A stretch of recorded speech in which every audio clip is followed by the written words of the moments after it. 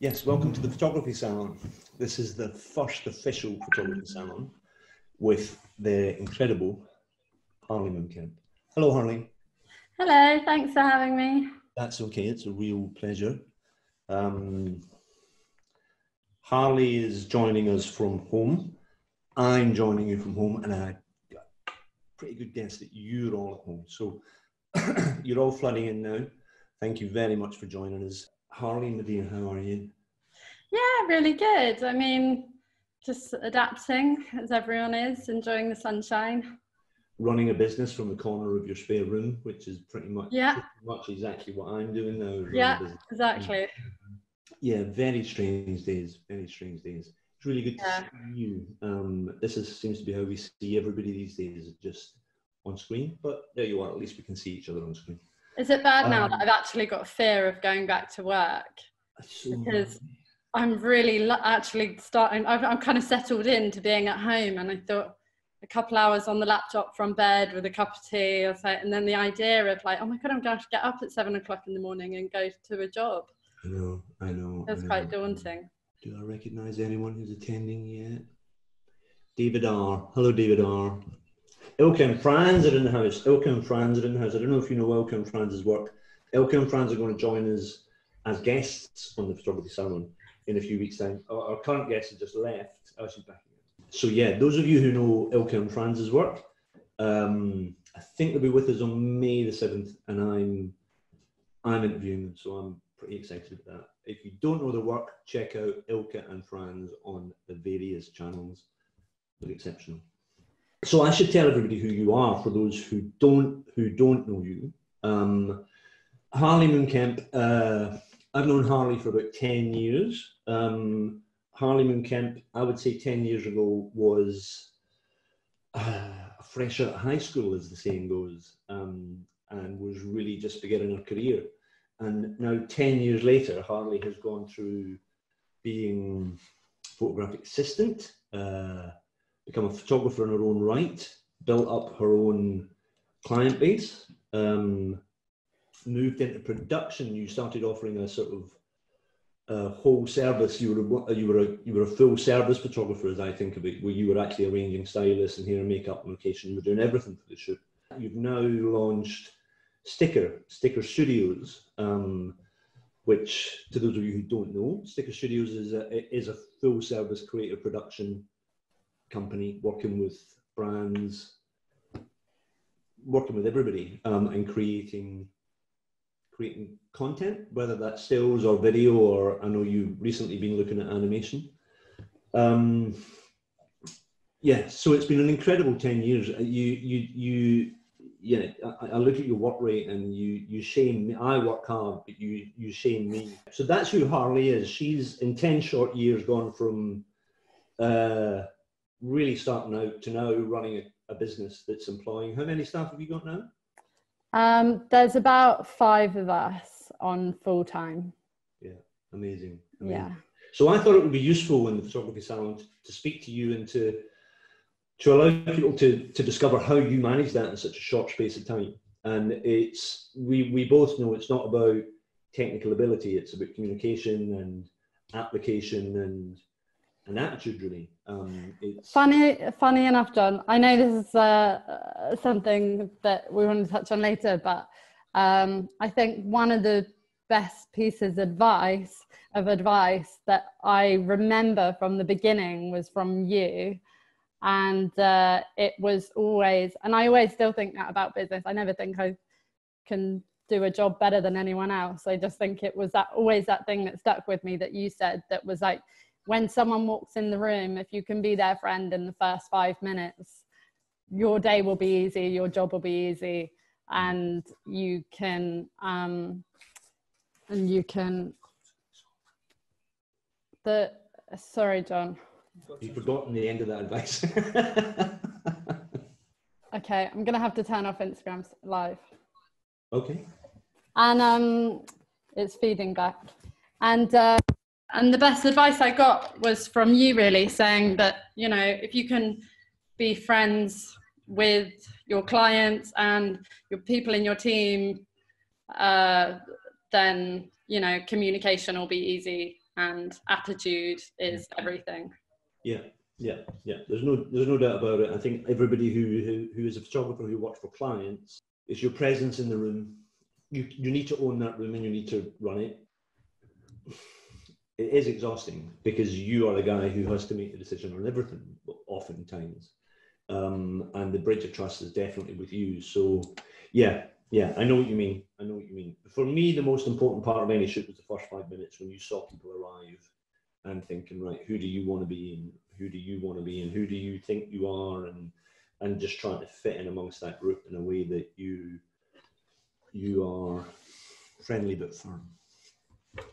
Um, so basically, uh, you were a, you were a you were a young woman who I who I met who clearly just decided she was going to be a photographer, um, and you did that.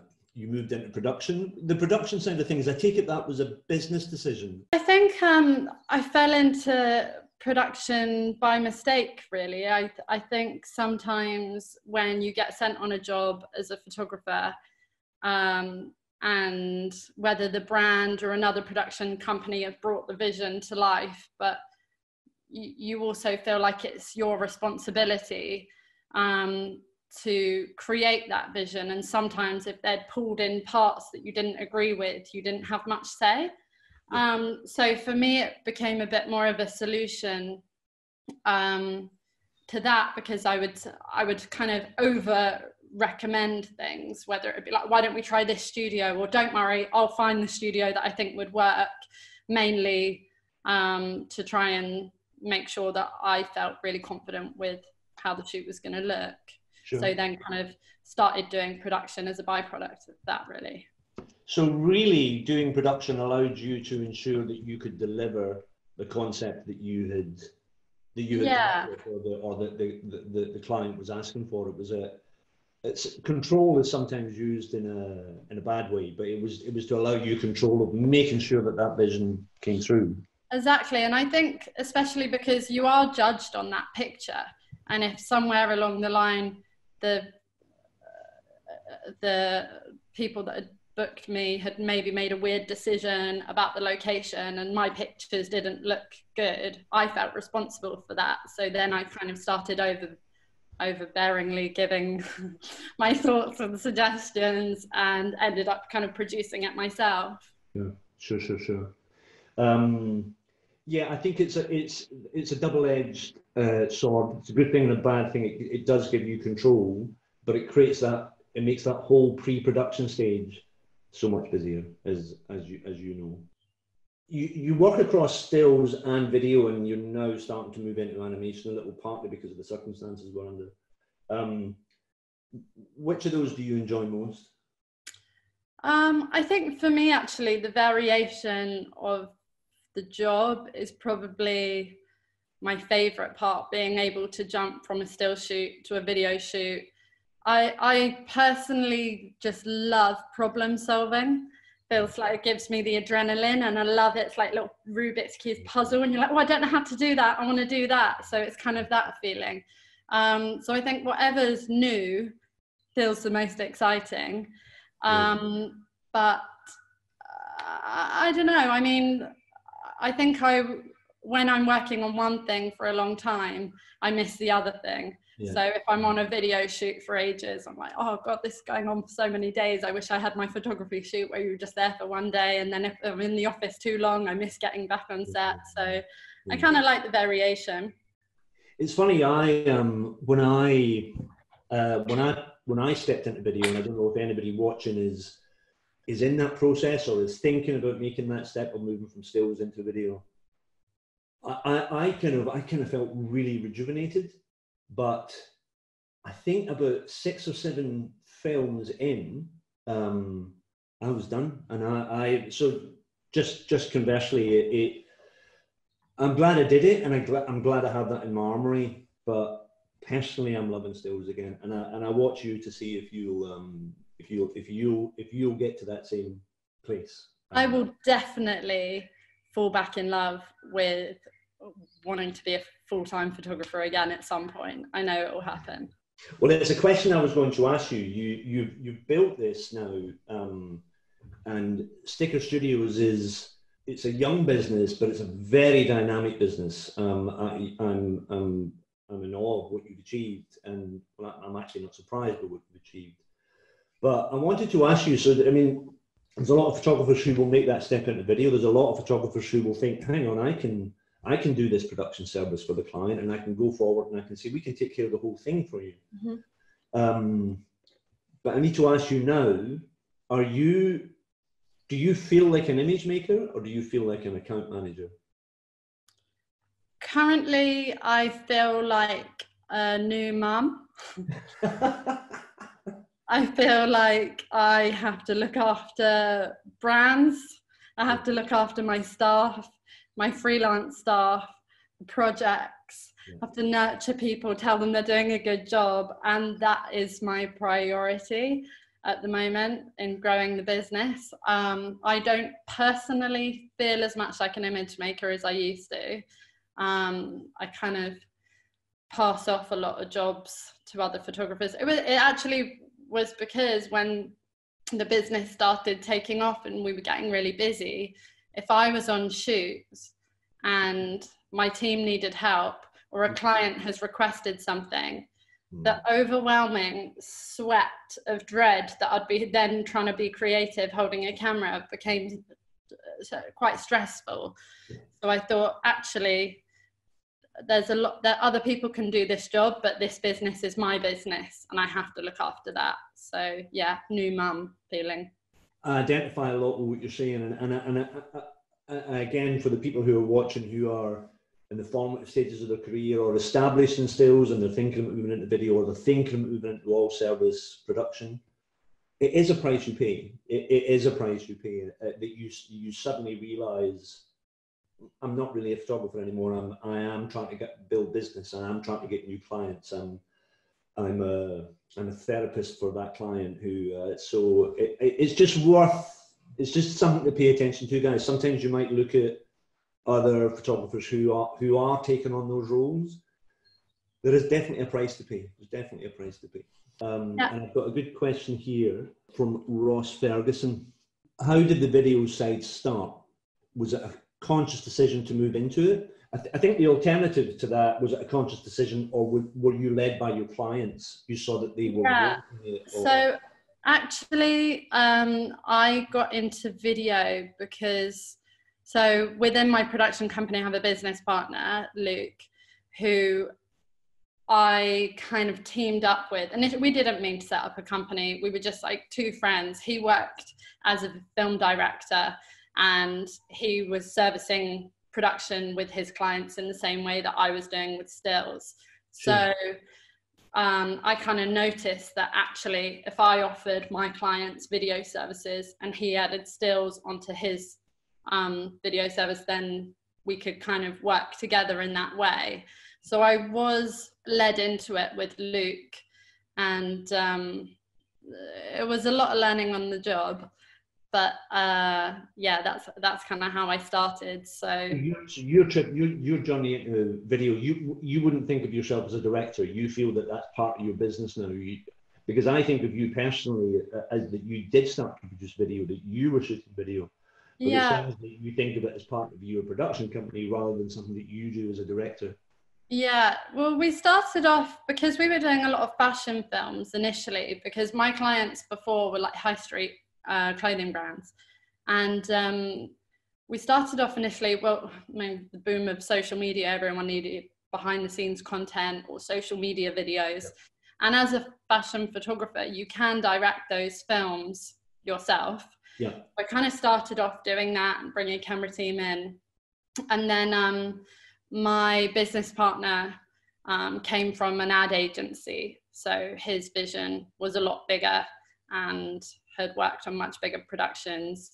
So he kind of developed the video um, part of the business. But I would say now we're probably two thirds video in the early days, I know that you you did a fashion PR internship, and I know that you shot a lot of bands. You come from a very musical family, um, and that was an, an obvious an obvious path for you, um, which was primarily you just using the the people that were around you to put in front of your camera and, and to network and just to build your portfolio that way.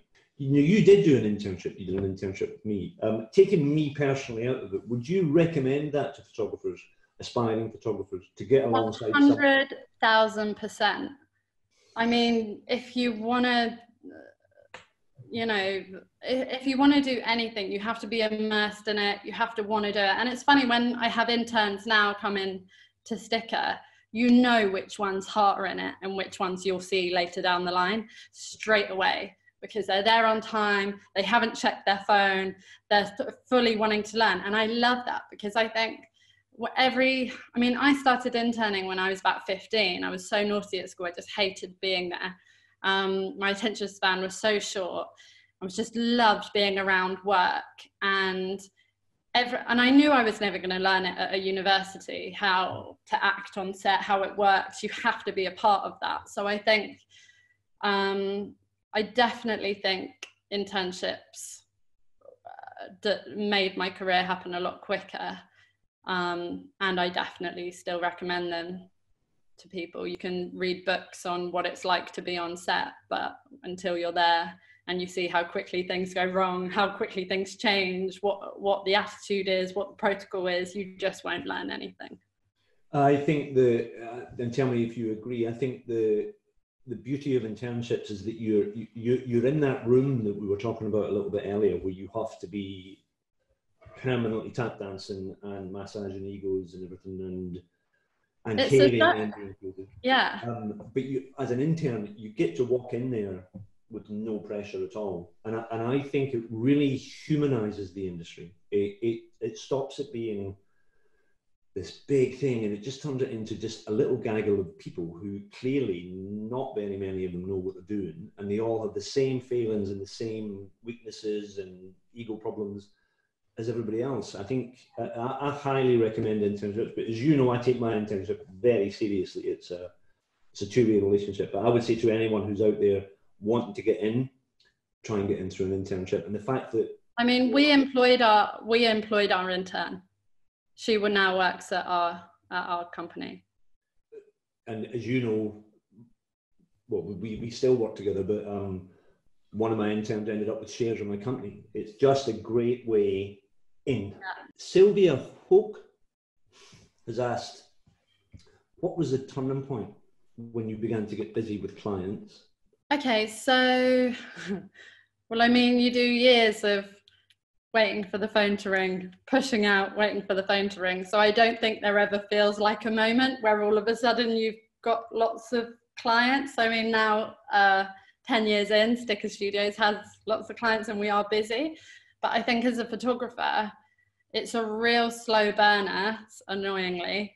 Um, but I think, uh, sorry, John, repeat the question one more time. The question was what was the turning point when you began to get busy? I, am interested in your answer because I, I, can look back and think of two turning points where, where, where, where the graph goes like that. There was one moment where I thought, oh, okay, I've, I've, I'm a professional now. Because I think you're hustling all day, all day, all day, pitching out, sending your portfolio. So by the time you get a client, you feel quite deserving. So it doesn't feel like, um, so it doesn't feel like a huge achievement. But I think um, I always just uh, to get clients, I just always looked at it, and I still do. It's like even with the internship, little stepping stone. I always imagine it like business is like a tree, like a family tree, and there's little stepping stones that you can use to get to where you're trying to go. So for me, I was quite young when I started my photography journey. I was like 17, and um, I knew I wasn't going to get taken seriously. So I uh, started out offering to do celebrity pictures, um, messaging talent agencies and saying I'll do the I'll do like cheap headshots for the talent. Then I started getting celebrity kind of pictures on the go. Then I went into a magazine to say, look, I've got these celebrity pictures. Will you let will you hire me? And then that was kind of the next level that I had to get to. Yeah. And then from that, I got noticed by a few clothing brands.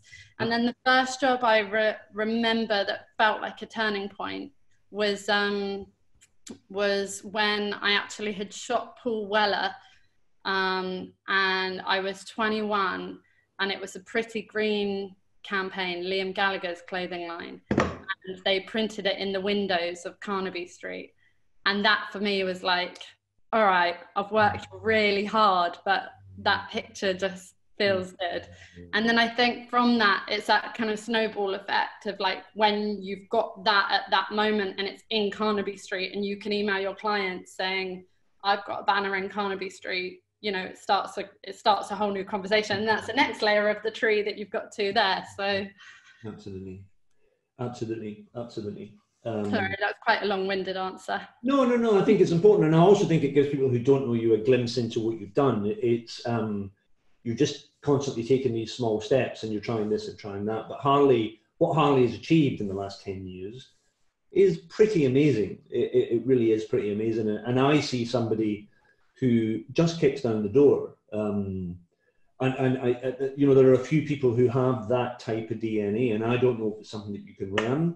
I hope it's something that people can tap into, and they can just think, yeah, well, I, am just going to kick the door down. I don't want to kick the door down, and I feel really bad, but I'm going to kick the door down because there is categorically no two ways about it. It's how shit gets done. Is you just kick the you just kick the door down. Um, and yeah, I've seen you. I've seen you kick it down many times. Um, not everybody's in the industry, but those of you who are in the industry, and Harley, I say to you, photography in in this post social media age is it's it's different. I mean, and I know that even you see that in the last ten years. You came into something that was that that that had a it had a recipe. You, as you just said, you shot for editorials, and then brands notice you, and then you start to shoot campaigns, and all of those shoots, but they lasted for at least a month. You would do a you would do a magazine, and you were in you were in GQ that month. Now a shoot lasts a day. its, its value in the world is a day, and, and we're seeing that absolutely turn this industry around. And your competition is everyone with a camera. yes, That's the yes. other thing now. Um, photographers are emerging left, right, and centre. The the value of photography seems to have kind of dropped to the floor. Uh, to the floor because um, yeah, they need new content, new post every four mm. hours.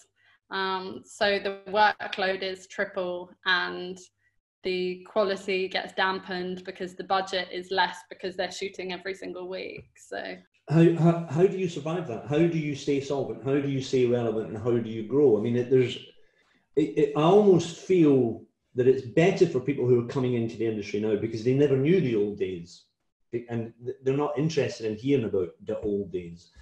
Um, when I broke through, the old days were the 1980s that's what people were harking back to, and it, it just wasn't relevant. It just didn't mean anything. So the fact that we used to get this or get that or this is how it worked doesn't matter. Now in this world where people want so much volume um, for so little money, how how what is you, what is your advice to people to to use that and and still succeed? Um, honestly, uh, the reason part of the reason I set up Sticker um, was because of that. Like I was shooting an ad campaign that would be out for a few months, and then all of a sudden I'm pitching for a job that's a tenth of the money and shooting every few weeks. And my my um, solution to that was to get inside the brand marketing team uh-huh. and make sure that I was the photographer shooting every month. That yeah. was my solution. So I, uh, rather than waiting for the phone to ring, I suggested social media campaigns that they could shoot. Um, suggested a rollout plan of what those photos look like, yeah. knowing that I'm the one who's going to be shooting them. Yeah that was that was kind of how I managed it. But I mean, there's still a lot of photographers shooting fashion ad campaigns and you know those jobs do still exist um, and i think staying i do think there will become i do think there will be a shift of you know really uh, high end credible artistic beautiful pictures will always you know succeed yeah. um, so i think like not trying to follow trends with photography um, and trying to, I don't know, for me, the kind of blogger and lifestyle photography isn't my thing, but you know, high end, beautiful, artistic photography, I think will always still triumph and be a success. Yeah, I think it will always exist. I think everybody's just trying to work out what on earth is going on um, at the minute, and it's it's it's crazy times. But yeah, yeah cream always rises. That's that, that's the same. You've done a lot in ten years. You're going to run out of fun new things to do. Where do you see the next ten years? I mean, I try not to think too far ahead because the pressure of anxiety gets a lot. But I think where Sticker is headed is become, be, becoming more like an ad agency. Um, within our team now, we actually have in-house creative division who are writing scripts for brands. So, um, I mean, in the past two years, I think we've shot about five TV commercials um, that we've scripted ourselves. And uh, so that's kind of feeling more like an ad agency. And I think that's the direction that we've got going for the next few years. So you can see yourself growing into being a. I can see you growing into being a creative agency. I'm not sure about an ad agency, but yeah, it's that kind of space between like an ad, like a creative agency and a production agency because a lot of the time the production agencies will have directors signed to their books, which we also have started doing now. Yeah. Um, and uh, shooting a lot more music videos and creative work. And uh, but at the same time, yeah, we we actually have in-house creatives, in-house editors, and we're a production company. So it's kind of that uh, middle because I think also the reason why we we started Sticker was a little bit of a problem solving because if brands are turning out these smaller campaigns all the time, um, the big ad agencies are too expensive, yeah. and um, and the production companies didn't have creatives. Yeah. So the brand marketing people or the social media people were slammed um, trying to come up with content ideas for every week and we were offering that service so that was kind of how on our the niche of our business yeah started yeah. really yeah. i think those are really good lessons and i think what harley's done there is is recognized an evolution and recognized what what the client wants what the market wants um, and those little turning points it, it, those are the times when you really can jump in. I, I spoke on this, spoke on a podcast or, or on the, the interview I did a couple of weeks ago about the absurdity of me. The first film I ever made was for Louis Vuitton. And it was only because I walked in at that point where suddenly, God, it sounds like so long ago, but it was YouTube. Everybody wanted YouTube content. It was sort of before Instagram, before everyone realized how powerful it was. And it was just about walking in and saying, you've got a lower budget, that's fine. Uh, make a video, yep, that's fine, we can do it, and running with that because people needed that service. Um, that's now saturated now. I also think I also think it's the braveness of having an idea and uh, and putting that forward to your client. Um, they might be saying, "Oh, you know, we've got these shoots lined up," and you think, "Actually, I've seen something that they're going to love. Mm. They haven't thought of it. Why are they not doing it?" maybe I'll write a script and send it to them with my work attached to it. That was really what me and Luke were doing a lot of the time. Um, and I, I, I mean, you do get people saying no thanks, but that's the worst that happens. Yeah. Um, and then they're thinking, oh, we hadn't thought of that. That's a great idea. And then, regardless of whether we've actually done those type of jobs before, we were the ones coming up with the ideas and selling it to them. So that that was a really big success for us and everybody watching, it's so easy to access image buyers now um, through LinkedIn, something that I know that you're starting to use through Instagram, through all the crazy channels. But the value in somebody who reaches out and says, "Hey, I love your product, um, and I've had this brilliant idea that you could do X, Y, Z. I'd love to come and see you and chat about it." Oof, the doors just fly open. Um, yeah. You need to deliver, but um, you know, when you have an idea about that product or that brand or that label or whatever, pitch it. It's so easy to pitch now. Nicole has asked a really good question, and I don't know how we answer it.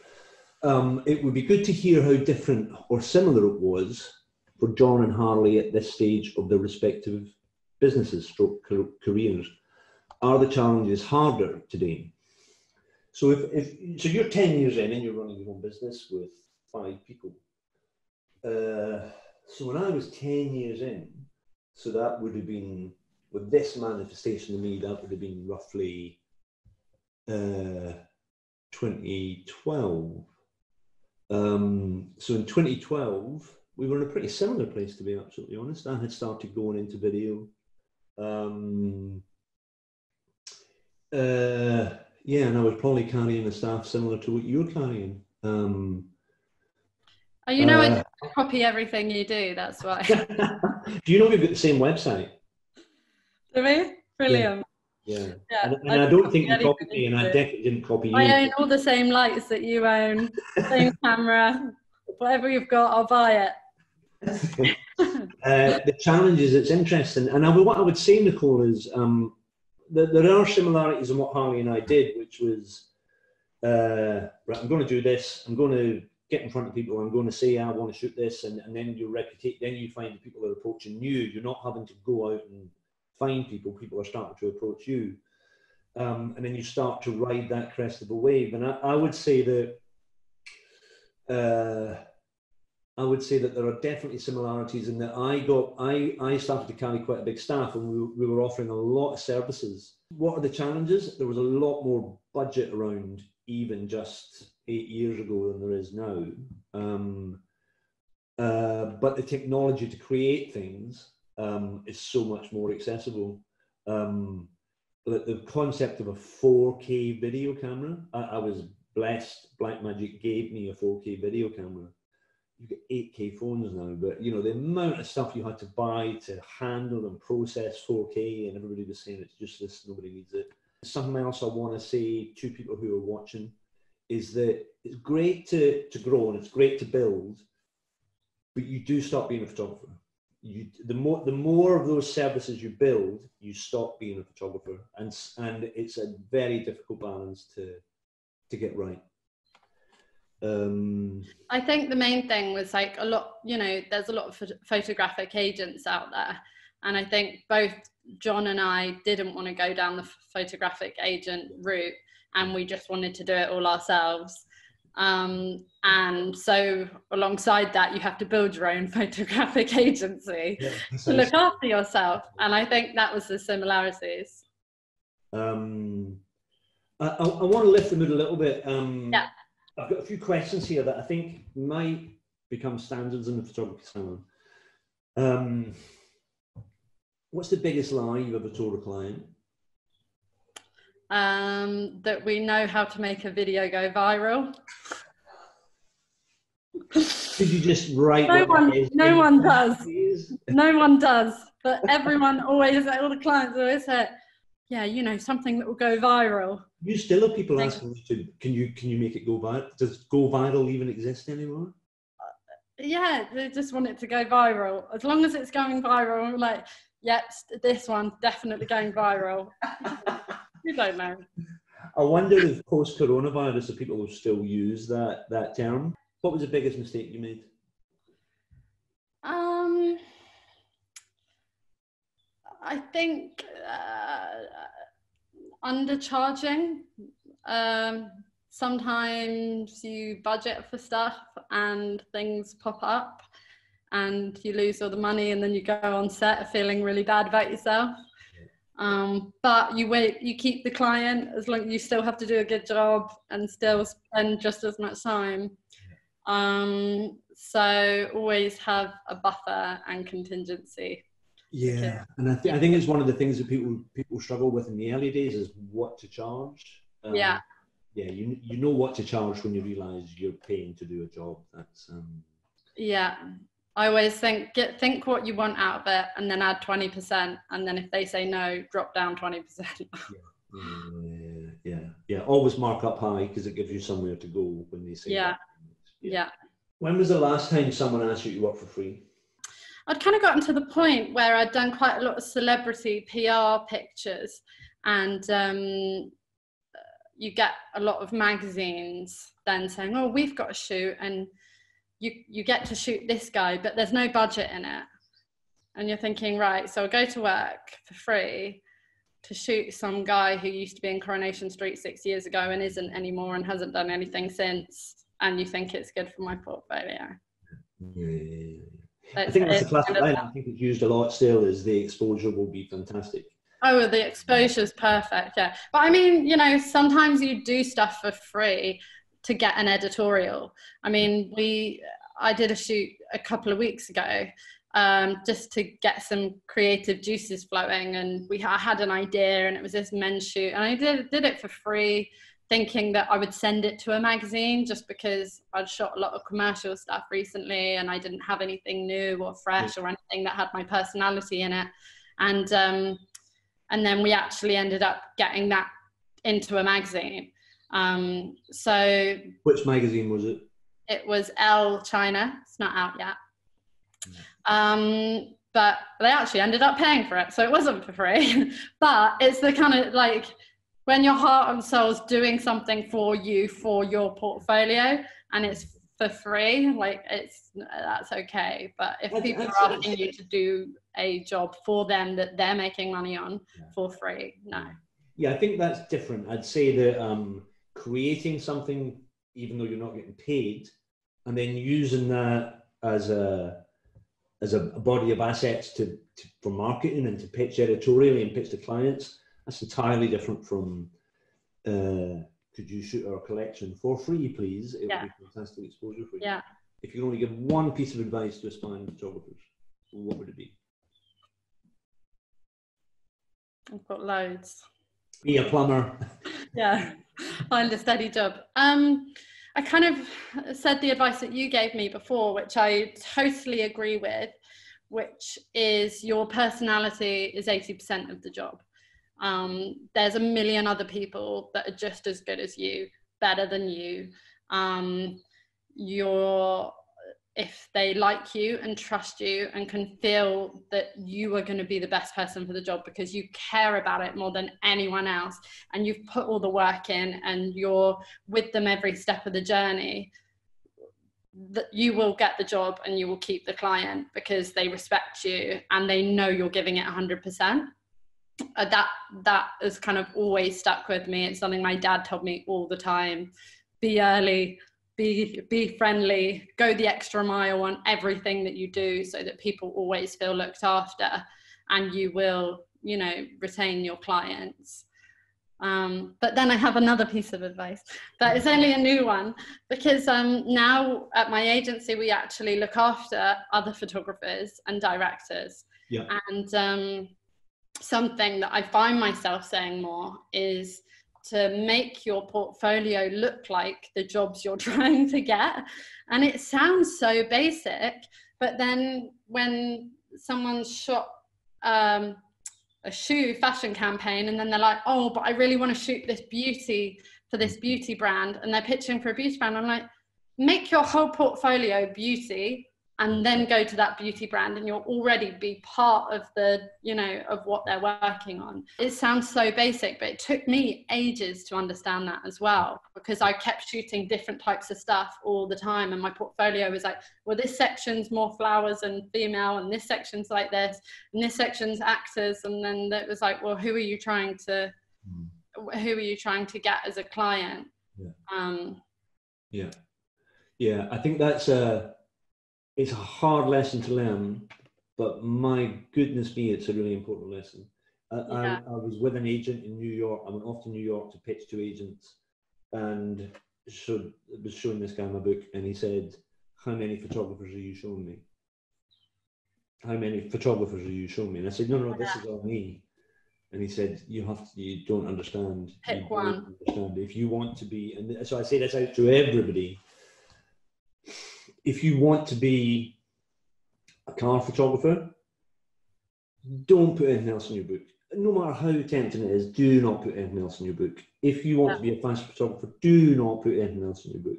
Full stop.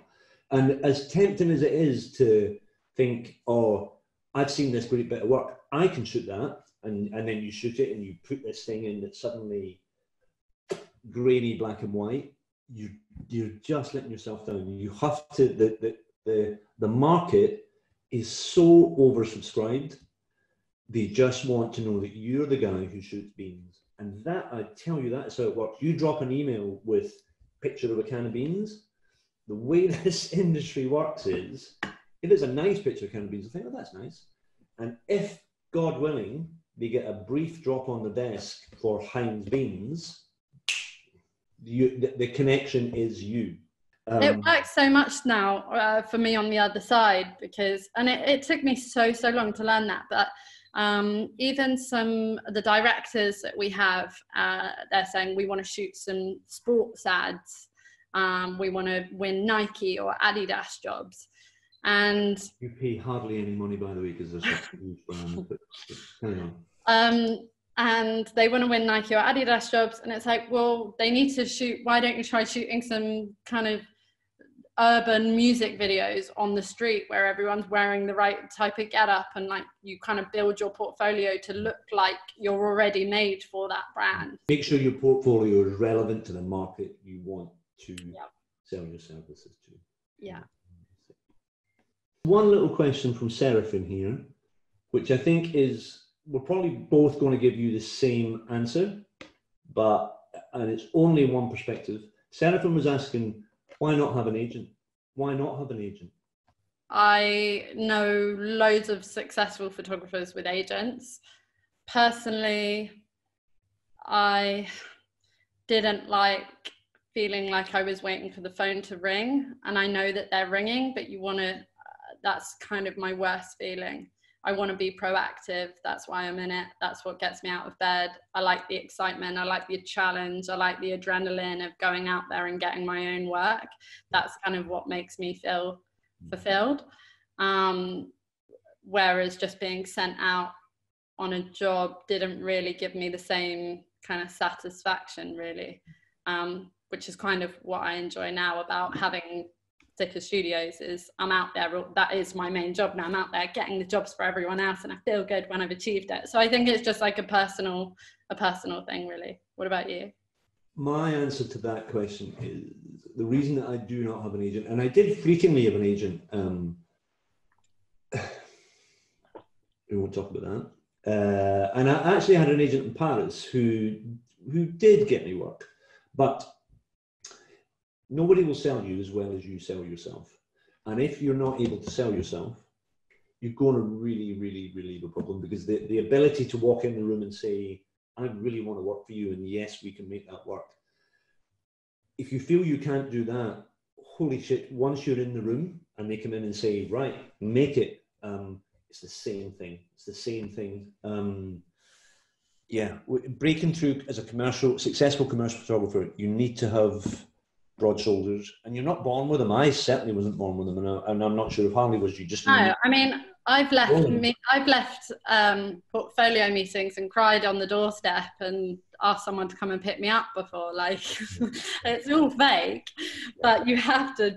That you want the job, and you're there, and you've tried, and you've come all this way, and you've got the pictures in your book, and you're like ready to yeah. to take it. So you've just got to swallow it and give it a go, even if it's nerve wracking or yeah. you don't know if you're good enough. You're good enough. Just give it a go. Yeah.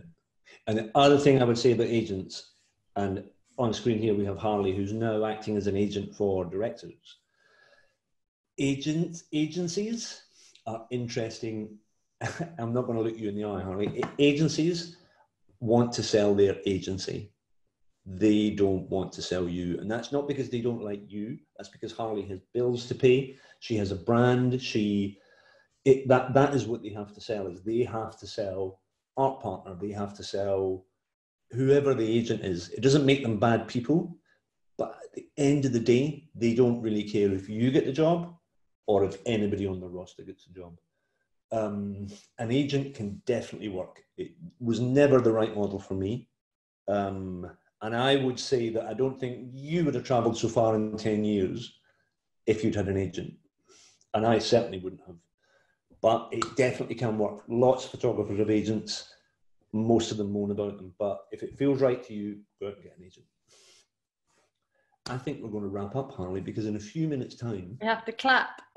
we have to get our rattles and clap for the NHS, which is um, it almost feels slightly insulting that that's what we're doing for people who are giving up their lives and applauding. I think as a nation, we need to do a little bit more for key workers once this once this is over. Um, thank you so much, everyone, for for joining us. Harley, thank you so much for sitting in the chair for me. Um, this is the photography salon which we've launched as part of the community building program for the Motel Collection, which you may or may not know is a gallery that I built, built that bolts onto my studio. And I, this should never be about me. Uh, obviously, we're interested in who the guests are, but really, your questions are so so so useful, um, and that's why we're here is to maybe try and shine a light on where the path is and how how you navigate it. Um, I hope it has been fun and informative. Um, we will be back. The the photography salon will be back on the 30th of April with art photographer and very successful advertising photographer Samuel Hicks. I don't know Samuel at all, and my gallery partner Richard Kalman will be hosting. Please uh, send us your questions. Please send us any ideas you have for the photography salon. All of you are here. You registered for this conversation you're now registered for the photography salon. So we will send you invites every two weeks as we do them. We're not trying to spam you, it's just easier.